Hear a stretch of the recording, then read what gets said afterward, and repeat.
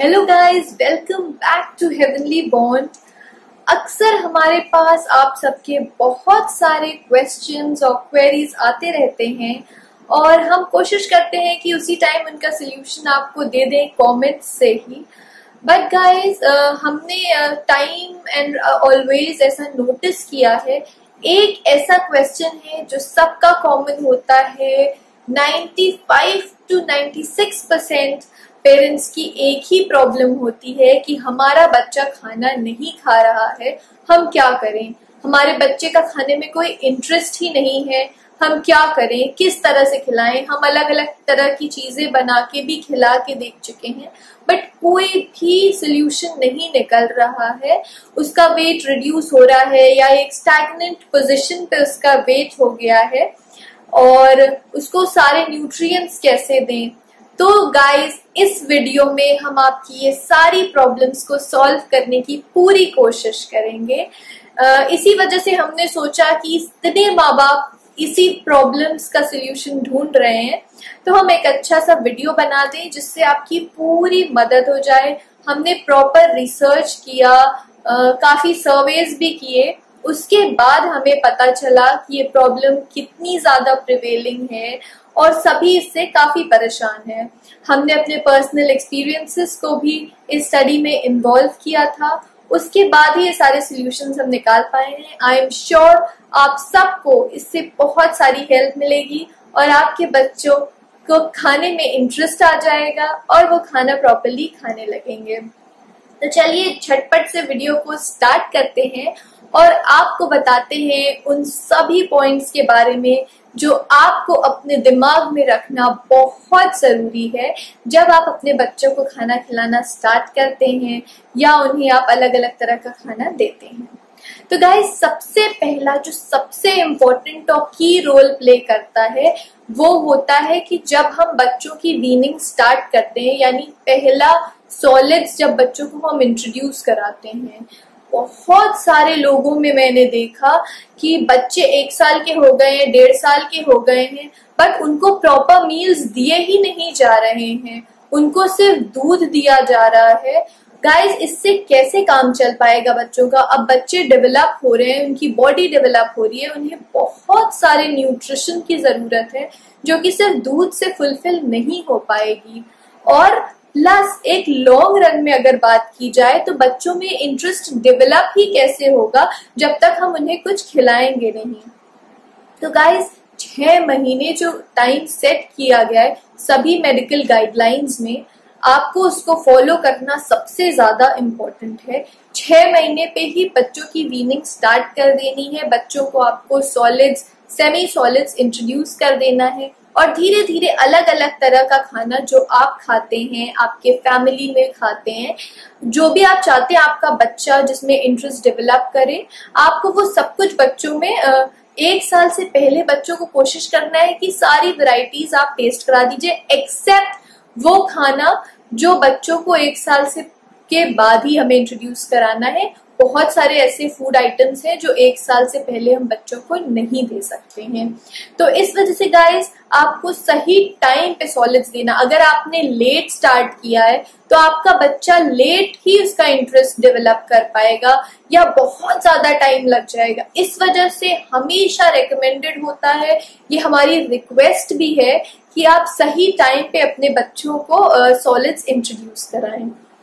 उसके बाद गाइस सबसे इम्पोर्टेंट और की रोल पेरेंट्स को प्ले करना पड़ता है एंड स्पेशली द मदर्स आपको बहुत ज़्यादा पेशेंट होना पड़ेगा। बच्चों को खिलाना एक बहुत ही टफ टास्क है। मैं खुद एक माँ हूँ। मैं अपने पर्सनल एक्सपीरियंस से बता रही हूँ। बहुत ज़्यादा पेशेंस की ज़रूरत होती है। कभी कभी बच्चा चार चार दिन तक प्रॉपरली नहीं खाता है तो वो हमारे दिल में क्या फीलिंग होती है, वो हम ही जानते हैं कि हमारा बच्चा भूखा है, उसके बॉडी में न्यूट्रिशन नहीं जा रहा है तो कुछ भी अच्छा नहीं लगता है। But guys sooner or later बच्चे वो आदत डेवलप कर लेंगे, क्योंकि ये एक हैबिट है। हैबिट को हमें धीरे धीरे डेवलप करानी है, ताकि बच्चों को उसमें इंटरेस्ट आए। ऐसा नहीं कि वो हमें फोर्स करना है, और बच्चे सोचे कि ओ माय गॉड अब खाना आ गया है, अब खाना खाना है। बच्चों को लगना चाहिए, अरे वाह, ये मील टाइम आ गया है, अब हम खाना खाएँगे, उन्हें खुश होना चाहिए इससे। इस वजह से मॉम्स का या फादर्स का या फैमिली में जो भी बच्चों को फ़ीड करा रहा है, उसको पेशेंट होना बहुत ज़्यादा इम्पोर्टेंट है। उसके बाद आपको मेहनत भी बहुत करनी होगी अलग अलग तरह इनसे इंट्रोड्यूस कराना है अलग अलग तरह का खाना कुक करना है होम कुक फ़ूड ही बच्चों को देना है। इस वजह से पेरेंट्स का बहुत की रोल होता है बच्चों का ये इंटरेस्ट डेवलप कराने में। उसके बाद गाइस बात करते हैं हम कि बच्चों को किस तरह से खिलाना है। बच्चों की प्रॉपर मील प्लानिंग कर लीजिए। वो सबसे ज़्यादा इम्पोर्टेंट है। ऐसा नहीं कि किसी भी टाइम कितना भी दे दिया और बच्चों को ज़बरदस्ती फोर्स करके हमने खिलाया। ऐसा नहीं है गाइस आप बच्चों को प्रॉपर मील्स में डिवाइड कर दीजिए। जब बच्चे छह महीने के होते हैं तो हम एक मील से बच्चों का खाना स्टार्ट करते हैं। फिर धीरे धीरे दो मील हो जाता है। फिर दो मील एक स्नैक होता है, फिर दो मील दो स्नैक होता है, फिर जब बच्चे एक साल तक के आए, तब तक आपको कोशिश करनी है कि बच्चे प्रॉपर रूटीन में आ जाए, ऐसा उनका रूटीन हो जाए कि वो तीन मील्स और दो स्नैक्स पे आ जाए। और साथ में जो हम मिल्क देते रहते हैं, वो अलग से। तो ये आपको मील प्लानिंग करनी बहुत ज़रूरी ऐसा नहीं है कि बच्चा रो रहा है, उसको कुछ खिला दिया। गाइस बच्चे के रोने से सिर्फ़ और सिर्फ़ ये मतलब नहीं होता है कि बच्चे को भूख लगी हो। और हर टाइम पे मिल्क दे देना सोल्यूशन नहीं होता है। अगर आप बच्चे को हर टाइम मिल्क फ़ीड करा देंगे तो बच्चों की भूख मर जाएगी कुछ और खाने के लिए। इसलिए मिल्क का भी एक टाइम सेट करिए। कब आपको मिल्क देना है, कब आपको मील्स देने हैं, कब आपको बच्चों को स्नैक्स देने हैं। इस वजह से ये बहुत इंपॉर्टेंट है। उसके बाद गाइस हम बात करते हैं कि बच्चों में स्लीपिंग पैटर्न अब आप सोचेंगे कि यहाँ हम खाने के बारे में बात कर रहे हैं तो स्लीपिंग पैटर्न कहाँ से आ गया? गाइस बच्चों का स्लीपिंग पैटर्न को ध्यान में रखना बहुत ज़्यादा इम्पोर्टेंट है, क्योंकि जब तक बच्चे प्रॉपर खाएँगे नहीं, तब तक उनका खाना डाइजेस्ट नहीं होगा, खाना डाइजेस्ट अगर नहीं होगा तो वो अगले मील पे कैसे आ पाएँगे? इस वजह से बच्चों का जो स्लीपिंग पैटर्न होता है, जो बच्चे छह महीने से एक साल के बीच के होते हैं या छह महीने से पंद्रह सोलह महीने तक, बच्चे दिन में दो बार सोते हैं, एक बार रात में। एक बार सुबह वो ब्रेकफास्ट के बाद या स्नैक के बाद सो लेते हैं और एक बार वो आफ्टरनून में आफ्टर द लंच सोते हैं। उसके बाद एक प्रॉपर स्लीप रात में होती है। स्लीप सबसे इंपॉर्टेंट होती है गाइस अगर बच्चे नहीं सो रहे हैं तो इनडाइजेशन हो जाएगा। आप अपने ऊपर ही सोच लीजिए। अगर किसी दिन हमारी नींद पूरी नहीं होती है तो गैस प्रॉब्लम्स हो जाती है इनडाइजेशन हो जाता है। तो वो तो छोटे बच्चे हैं, उनको भी सेम प्रॉब्लम होती है। स्लीप डेवलपमेंट में बच्चों की सबसे की रोल प्ले करता है। और उसके बाद बच्चे जब बड़े हो जाते हैं गाइस तब बच्चे एक बार ही सोते हैं दिन में। आफ्टर 18 मंथ्स या 17 टू 18 मंथ्स में एक स्लीप पैटर्न चेंज होता है बच्चों में। तो वो ध्यान में रखना बहुत ज़रूरी है, बच्चों का क्या स्लीपिंग पैटर्न उसके बाद बात करते हैं गाइस कि हमें बच्चों को कितने क्वांटिटी में फ़ीड करना है। तो क्वांटिटी बहुत इंपॉर्टेंट होती है गाइस क्योंकि अक्सर माँ बाप कहते हैं कि हमारे बच्चे ने खाया तो लेकिन बहुत कम क्वांटिटी में खाया। वो उससे ज़्यादा नहीं खाता है या छोड़ देता है खाना। सो so गाइस हम कितनी क्वांटिटी ले रहे हैं, ये बहुत इंपॉर्टेंट होता है हमारे लिए। बट गाइज़ बच्चों के लिए क्वालिटी ऑफ़ फ़ूड सबसे इम्पोर्टेंट होता है। जब बच्चे छह महीने से एक साल के बीच के होते हैं, एक साल तक बच्चों के लिए मिल्क ही सबसे ज़्यादा इम्पोर्टेंट होता है। इस वजह से गाइज़ बच्चों को जो भी चीज़ें हम इंट्रोड्यूस करा रहे हैं वो सिर्फ़ एक हैबिट डेवलप करने का काम करेगा। ताकि जब वन ईयर प्लस हो जाए तो वो प्रॉपर एक मील और स्नैक के रूटीन में आ जाए। तो इस वजह से मिल्क तो हमें उन्हें देना ही है प्लस क्वालिटी ऑफ़ फ़ूड देनी है। अच्छा खाना दीजिए, थोड़ा ही दीजिए, जिससे बच्चों का पेट भी भर जाए प्लस उनकी इम्यूनिटी बिल्डअप हो जाए, उनका वेट गेन प्रॉपर तरीके से होता रहे।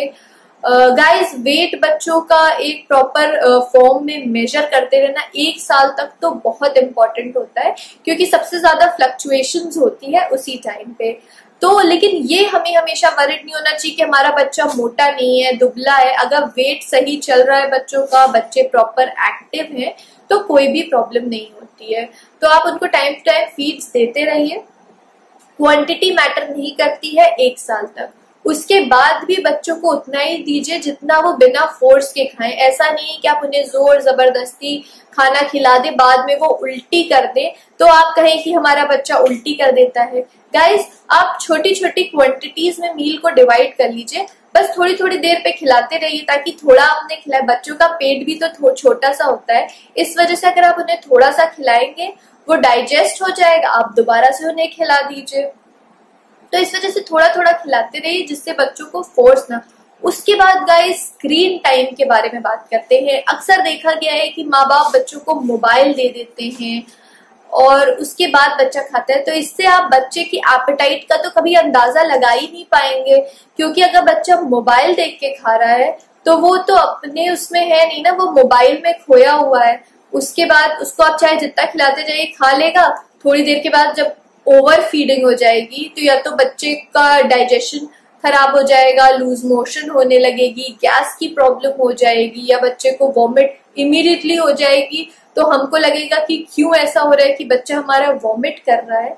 तो गाइज़ ये रीजन होता है, बच्चों को काफ़ी ज़्यादा नहीं खिलाना है। आप अच्छी अच्छी चीज़ें खिलाइए लाइक आप बच्चों को घी दीजिए, घर का बना हुआ।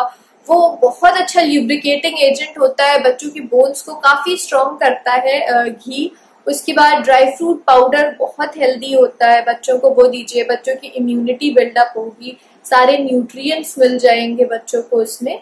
तो ये काफ़ी हेल्दी रहता है। एक प्रॉपर पैटर्न बनाइए और फोर्सफुली बिल्कुल भी नहीं खिलाना है। उसके बाद गाइस फैमिली टाइम देना बच्चों को बहुत इंपॉर्टेंट है।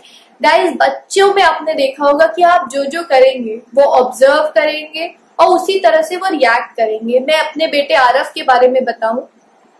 उसके अंदर इतनी अच्छी स्किल्स मैंने देखी है, इतनी अच्छी हैबिट्स डेवलप हो गई है एंड हम खुद आश्चर्यचकित हो जाते हैं कि इतना छोटा सा बच्चा ऐसा कैसे कर रहा है। फॉर एग्ज़ाम्पल गाइज़ अगर उसने कहीं भी पेपर का या कोई भी रैपर छोटा सा भी टुकड़ा देखा, वो इमीडिएटली उसको पिक करता है और ले जाके डस्टबिन में डाल देता है।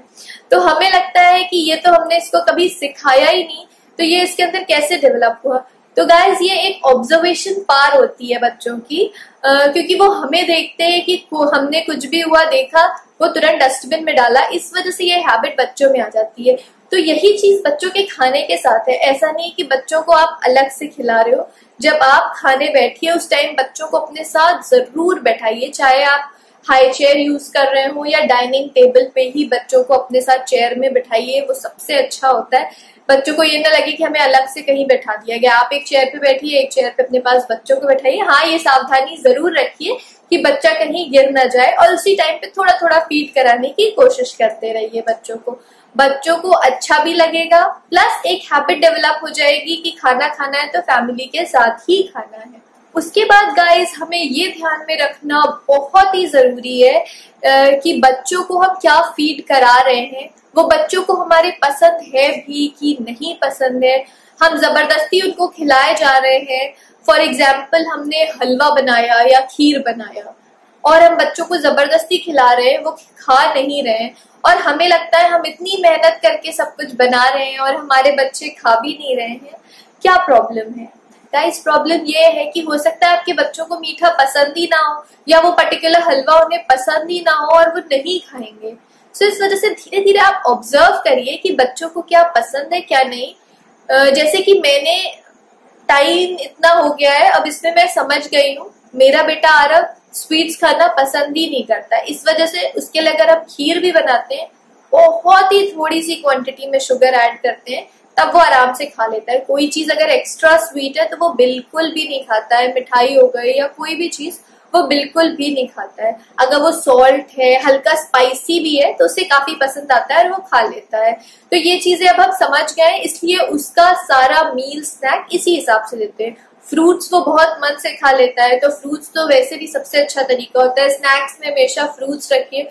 फ्रूट से बच्चों की भूख भी बढ़ती है और काफ़ी न्यूट्रिशन मिल जाता है।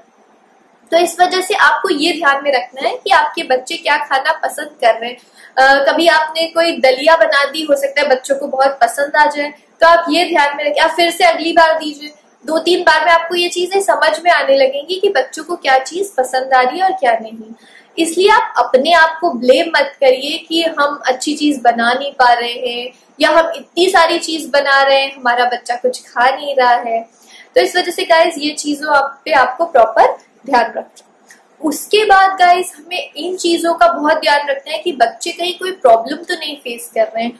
हो सकता है उस समय उनके बॉडी में कुछ इधर उधर चल रहा हो। इस वजह से वो खाना नहीं खा रहे। जैसे कि कभी कभी ये क्वेश्चन आता है कि हमारा बच्चा प्रॉपर खाता था, आजकल वो एकदम ही खाना छोड़ दिया है। लाइक अगर बच्चों को फीवर हो गया फीवर के टाइम भले ही वो खा ले, लेकिन जब फीवर खत्म होता है तो दो तीन दिन तक एकदम मन ही नहीं करेगा। खाने का बच्चा कुछ नहीं खाएगा। अगर वो खा भी लेगा तो वॉमिट कर देगा। ऐसा हमारे साथ भी तो होता है गाइस कि अगर हम कुछ खा लेते हैं तो हमें मन नहीं करता है आफ्टर फीवर कुछ भी खाने का। तो दो तीन दिन में वो सब कुछ नॉर्मल हो जाएगा। उसके बाद अगर पेट में कीड़े होते हैं, तभी भी बच्चा कुछ नहीं खाता है। टीदिंग हो रही होती है, उस टाइम भी बच्चे का मन नहीं करता है, या लूज मोशन हो जाती है, काफ़ी वीकनेस हो जाती है। तो ये सारी प्रॉब्लम्स का हमको एक चेक रखना होगा कि कहीं बच्चा किसी प्रॉब्लम्स में तो नहीं है। जिस वजह से वो नहीं खा रहा है, इसलिए ज़बरदस्ती फोर्स नहीं करना है हमें। उसके बाद गाइस अक्सर ये प्रैक्टिस में देखा गया है कि बच्चों को बिस्किट्स दे दिए जाते हैं। आई डोंट नो क्यों बट मेरा रिकमेंडेशन है, मेरी रिक्वेस्ट है आप सबसे प्लीज़ बच्चों को बिस्किट्स या कोई भी तरह का पैकेज्ड फ़ूड मत दें। बिस्किट चाहे वो पार्ले जी क्यों ना हो कि हम वो आटा से बनाए। बट गाइज़ वो बाहर बना हुआ है। आप आटा के बिस्किट्स घर में प्रिपेयर करिए और बच्चों को दीजिए, कोई प्रॉब्लम नहीं है। ये बिस्किट्स में क्या प्रेजर्वेटिव्स हैं, क्या चीज़ें इंक्लूडेड हैं, हमें बिल्कुल भी नहीं पता है। इस वजह से आप बिस्किट्स तो बिल्कुल भी मत दीजिए। सो so गाइज़ अगर आप ये सारी चीज़ें फॉलो कर रहे हैं, उसके बाद भी आपके बच्चे को ना भूख लग रही है, ना वो कोई भी प्रॉपर मील्स ले रहा है तो हो सकता है इसके बॉडी में कुछ वाइटमिन की कमी हो जिंक की कमी हो गई हो, या पोटेशियम की, या किसी भी तरह के मिनरल्स की कमी हो गई हो। तो मेरी सजेशन है गाइस लास्ट में ये ज़रूर फॉलो करिए। आप बच्चों को मल्टी विटामिन दीजिए दिन में दो बार। एक बार दिन में आफ्टर द मील या बिफोर द मील और रात में सोने से पहले। आप देखेंगे कि बच्चों की भूख बढ़ेगी, क्योंकि जितने भी बॉडी में मिनरल्स और वाइटमिन की कमी होगी, वो ये मल्टीविटामिन लेने से पूरी हो जाएगी। सो so गाइस इस, इन सारे पॉइंट्स को प्रॉपरली ध्यान से देखिएगा और अपने बच्चों के लाइफ में इसको लाने की कोशिश करिए, इस तरह से फॉलो करिए। बहुत पेशेंस की ज़रूरत होती है, मुझे पता है, और उसके बाद अलग अलग स्पेशली गाइज़ बच्चों को ना चेंज काफ़ी पसंद होता है। इसलिए एक रूटीन में बच्चों को सेम चीज़ें रेगुलरली मत फ़ीड कराइएगा। चेंज कर करके अगर आप फ़ीड कराएँगे तो बच्चे अक्सर ये पसंद करते हैं। और हमने बहुत सारे बेबी फ़ूड की रेसिपी अपने चैनल पे दी हुई है। आप वो सब ट्राई करिए। बच्चों को बहुत पसंद आने वाला है। मेरे बेबी को भी बहुत पसंद है। हम उसको चेंज कर करके रोज अलग अलग चीज़ें देते रहते हैं तो उसको काफ़ी पसंद आता है। गाइस uh, चेंज का मतलब ये नहीं है उनका रूटीन प्रॉपर रखिए कब क्या मील देना है बट वो मील्स में आप चेंज ला सकते हैं। उनके मील्स में जैसे कि बच्चे अगर दूध नहीं ले रहे हैं, लेकिन हमको बच्चों को दूध देना ही देना है तो आप बच्चों को कर्ड दे दीजिए या पनीर दे दीजिए या दूध किसी चीज़ों में इंक्लूड मिल्क शेक्स बच्चों को पसंद आते हैं आइसक्रीम कुल्फी, ये सब बच्चों को पसंद आता है तो गर्मियों में आप ये सब आराम से दे सकते हैं। अलग अलग चीज़ों में ड्राई फ्रूट्स डाल दीजिए, बच्चों के खाने में घी ज़रूर इंक्लूड करिए। तो इस वजह से ये सारी चीज़ें जब आप इंक्लूड करेंगे, बच्चों की भूख भी बढ़ेगी प्लस एक वो प्रॉपर तरीके से खाने लगेंगे। मैं ऐसा नहीं कह रही हूँ कि आप आज ही शुरू करिए, आज ही बच्चे खाना स्टार्ट कर देंगे। थोड़ा सा टाइम लगेगा धीरे धीरे आज अगर वो एक चम्मच खा रहे हैं, कल दो खाएँगे, परसों तीन खाएँगे धीरे धीरे वो प्रॉपर रूटीन में आ जाएँगे और उनका खाने के लिए एक इंटरेस्ट जग जाएगा। सो so गाइज़ अगर वीडियो यूजफुल लगा हो थोड़ी सी भी हेल्प मिली हो आपको इससे तो ज़रूर लाइक करिएगा और सबके साथ शेयर करना बिल्कुल मत भूलिएगा। हमारे चैनल को सब्सक्राइब करिए। अगर अभी तक आपने नहीं किया है, बेल आइकन को प्रेस करिए। आपको सारी अपडेट्स मिलेगी हमारे वीडियो की। हमारे साथ ऐसे ही जुड़े रहिए और ऐसे ही हमें ढेर सारा प्यार देते रहिए।